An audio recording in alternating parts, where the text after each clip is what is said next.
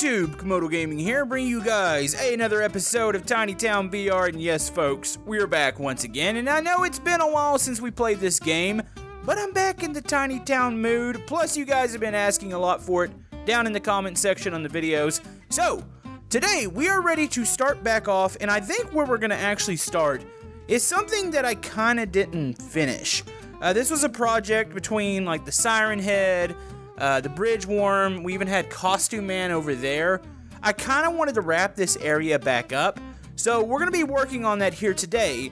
Now, luckily, the workshop has a couple really cool items now.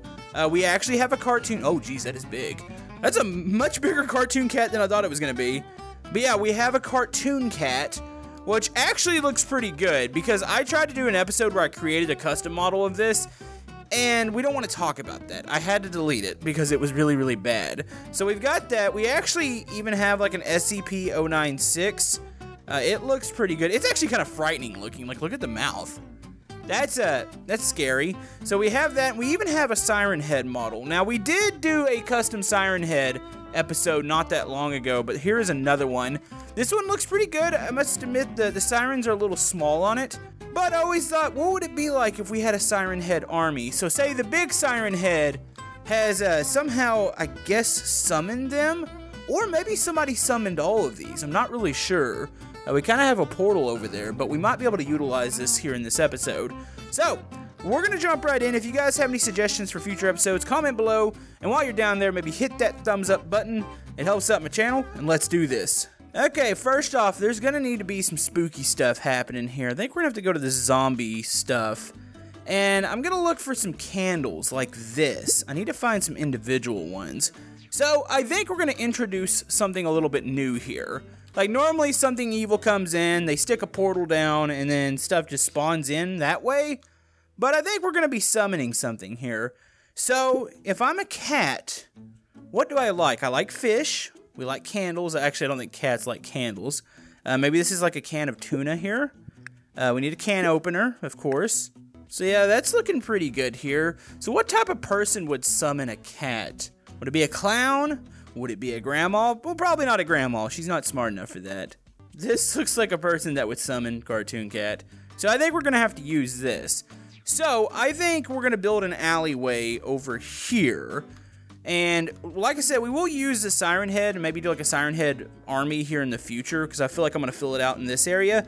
But back here, we'll have like a maybe an alleyway uh, between the streets here. Alright, so what I want to do with this, I kind of want to make this look like an abandoned part of town. So say they were developing out this way, and this is just kind of a forgotten section. So I think I can utilize a mixture of the zombie pieces and some of the normal town pieces. Like we can make it look like it's old and run down.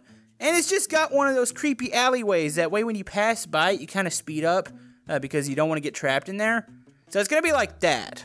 Ooh, I'm thinking like almost like a little bit of a bandit industrial section. So we can have something like that. Uh, I need a front-facing building, so probably maybe one of these. And we can damage these buildings. Uh, maybe we'll put a fence up like it's been condemned. I think that would be pretty cool. So let's go put this building here. There we go. That looks good. So this will be our alleyway. We'll block off the back of it here in a second. Uh, let's go over to zombies. Is there anything I can add here? You know, a bandit church would look really good, but I believe I've used that before over in the zombie apocalypse area, so I think we'll avoid that. But I will use some pieces in here, like the debris and stuff. We'll shrink it down and uh, make it look like the alley's really, really trashed. Okay, so if the fence doesn't say this is a bad idea, I don't know what will. Uh, do we have one with a hole in it? Oh, we do. This is perfect. So say they went down through the hole here in order to get back to this area. That looks good. Okay, let's keep going here. Come on, you can't tell me this doesn't have bad idea written all over it. So let's go ahead and stick some stuff here. Thankfully, this zombie pack has a lot of amazing items here that we can use uh, to decorate this alleyway to make it look as creepy as possible. So I think the uh, ritual site's going to be over here in the corner. Or maybe it'll be more out here. Here, let's move some of this over to this side.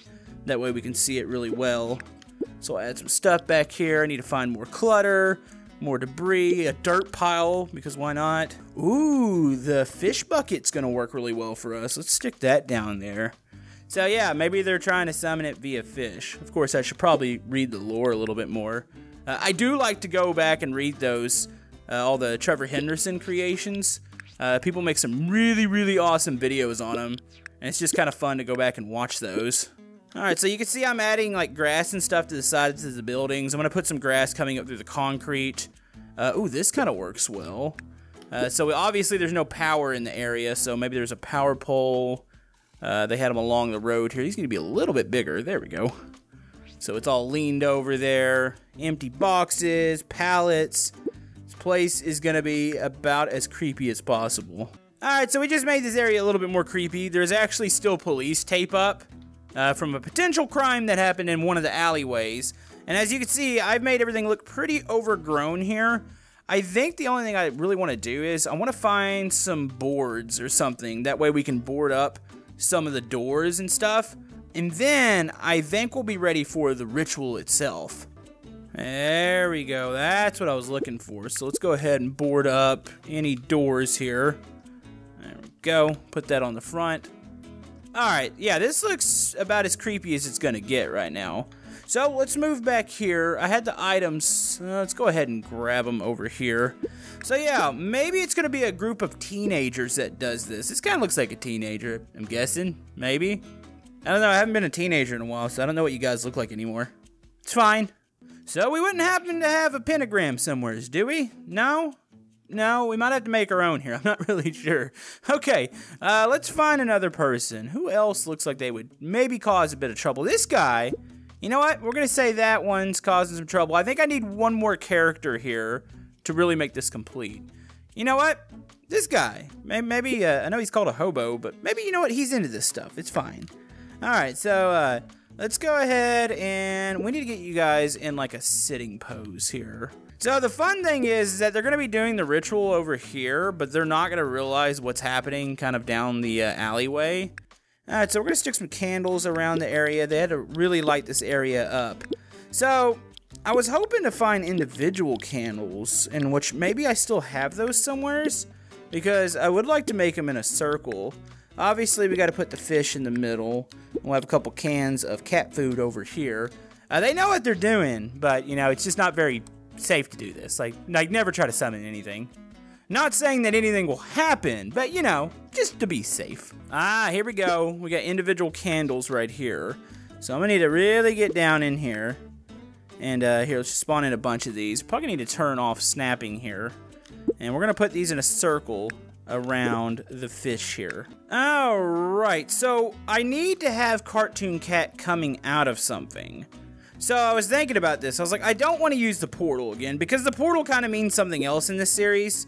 It doesn't mean that, oh, stuff just randomly appears. Even though stuff randomly does appear, but a lot of times the portal has a meaning. So, I'm thinking, what can we do? Would Cartoon Cat come from the ground? Maybe Cartoon Cat was living in the building here. Or maybe came from the building. I wouldn't say it was living in there because obviously they're summoning it. That would imply that it's been there the whole time.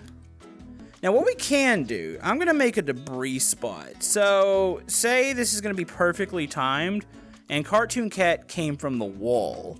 So I need that, I need a hole, which I think there's a couple that I can use here. Uh, and maybe it's to be coming out of that. Alright, that's looking like that's going to work. We're going to have to work with the outside of it a bit to make it look a little bit better. But I know I asked this question before. Which character is your guys' favorite as far as the Trevor Henderson creations? I still have to say Siren Head has got to be mine because of the. Uh, used to have a fear of sirens for some reason uh, when I was little. Of course, we live in a tornado alley, so you know that's a thing. We get tornado sirens quite often. So yeah, that was uh, that was my excuse for that. But Cartoon Cat has got to be a close second. Uh, but yeah, let me know what you guys think. Okay, let's put that there. Alright, we really should probably get the star of the show here. So let's go ahead and pull Cartoon Cat back up.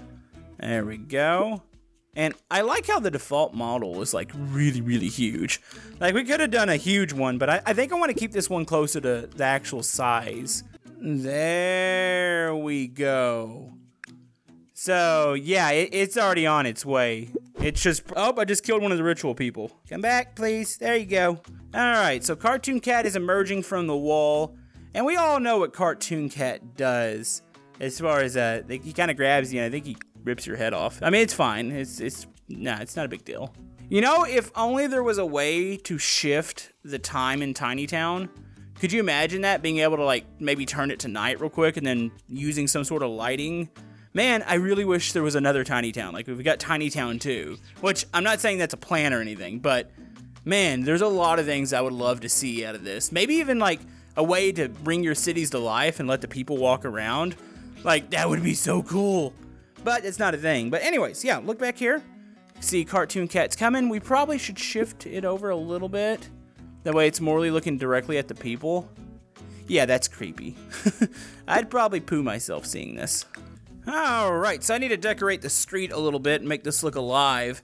And then I think we need to prep. Like, we've got some really good areas to work with over here. Of course, we can continue this uh, little hilly area where the bridge was coming across. And I know a lot of you guys, when we did the Siren Head episode, said there should be a big forest back here. So maybe we'll shift the Siren Head army back there. I want to know your guys' opinion, though. Should it be over there? Or should it be over there?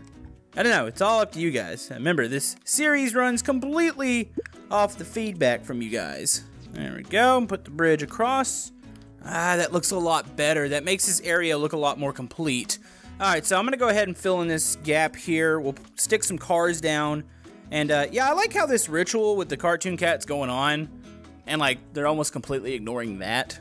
I mean, this guy, he's like the only one that's actually uh, acknowledging anything. So this still wouldn't be a complete episode of Tiny Town if I didn't bring out a legendary character. So I don't know if you guys have seen those shows where people go to like places that are kind of junky and they find stuff and they resell it.